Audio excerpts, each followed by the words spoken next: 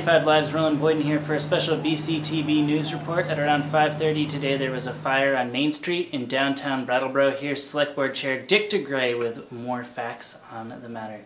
We had a fire on Main Street, uh, started somewhere around 5, 5 o'clock this evening. It is under control. Uh, It was an apartment building, I'm not sure the name of the building that, uh, uh, actually, that was the building where, above Amy's and uh. I think that's the two stores that uh, separate that entryway.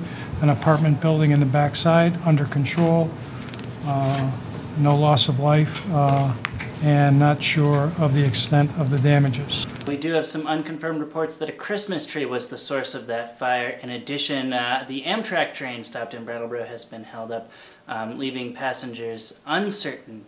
Uh, apparently, they're texting away, trying to figure out when they can get uh, going on the rails again.